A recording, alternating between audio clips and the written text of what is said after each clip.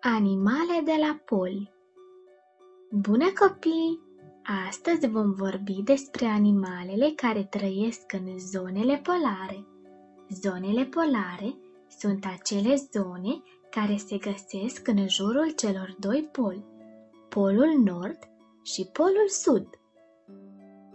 Zonele polare sunt cele mai reci zone ale globului. Aici, zăpada și gheața acoperă pământul. Bucăți uriașe de gheață acoperă și totodată se deplasează pe apa din jurul suprafețelor continentale. Acestea se numesc iceberguri. Toate viețuitoarele care trăiesc în aceste zone sunt adaptate la frig. Unele animale au un strat gros de grăsime sub piele, iar altele au o blană foarte deasă. Haideți să aflăm care sunt câteva dintre animalele care trăiesc în zonele polare. Ursul polar este cel mai mare animal de pradă care se întâlnește pe uscat. Are blana de culoare albă.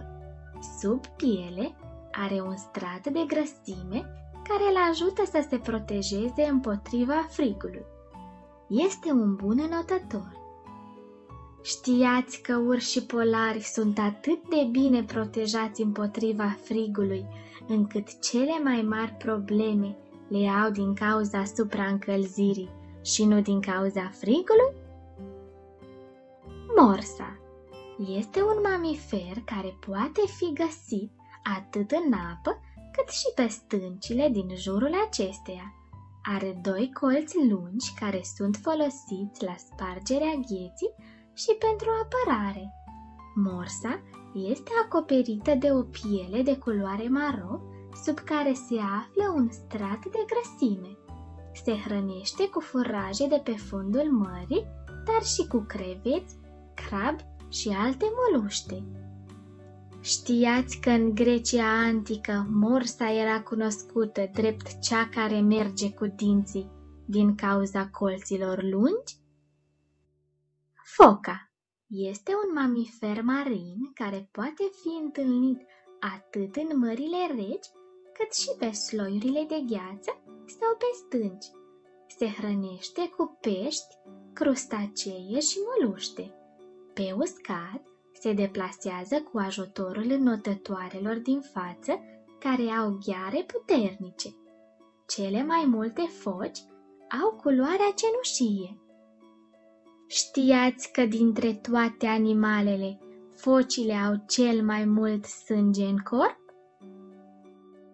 Vulpea polară este un animal omnivor care se hrănește cu rozătoare, pești, ouă de păsă, dar și fructe de pădure în timpul verii. Aceasta sapă gropi în care își depozitează mâncarea are un simț al auzului foarte bine dezvoltat. Iarna, blana are culoare albă, iar vara este maronie spre gri. Știați că vulpea polară este capabilă să parcurgă distanțe foarte mari, mai mari decât o pot face celelalte mamifere? Pinguinul este o pasăre acvatică dar care nu poate zbura. Aripile pe care le are îl ajută să înoate. Este un animal carnivor. Se hrănește cu viețuitoarele pe care le găsește în apă. Partea din față este acoperită de pene albe, iar spatele de pene negre. Are un mers legănat. Știați că pinguinii năpârlesc în fiecare an? Husky-ul siberian este un câine de talie medie cu o blană deasă. Este folosit ca și câine de sanie. Este un animal foarte rapid. Cei mai mulți câini husky au ochi albaștri. Știați că husky-ul siberian este considerat cel mai rapid câine dintre speciile nordice? Bufnița polară este una dintre cele mai mari păsări prădătoare din lume. Este o pasăre carnivoră, activă în timpul zilei. Are simțurile puternic dezvoltate. Penajul este fie alb, fie pestrit. Știați că bufnița polară nu vânează la mai puțin de un kilometru de cuib? Elanul este un mamifer întâlnit în zonele reci. Este cel mai mare reprezentant din familia cerbilor. El se distinge prin coarnele mari specifice masculilor. Este un animal singuratic. Este erbivor. Știați că elanul este în top 5 cele mai înalte animale? El ajunge la o înălțime de până la 2,3 metri. Iepurele arctic este un animal întâlnit în zonele reci.